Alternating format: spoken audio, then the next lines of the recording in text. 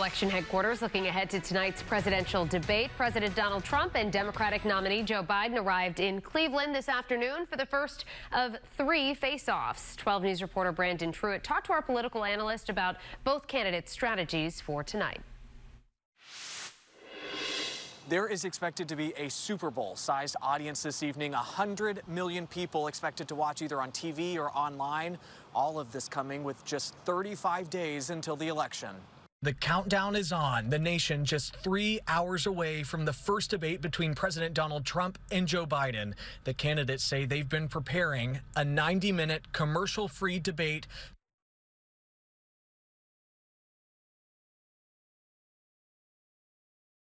say they've been preparing a 90 minute The candidates say they've been preparing a 90 minute commercial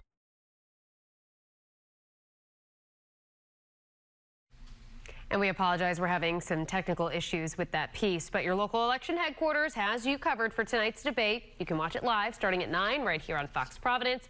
And we'll have reaction and analysis on 12 News at 11 over on WPRI 12.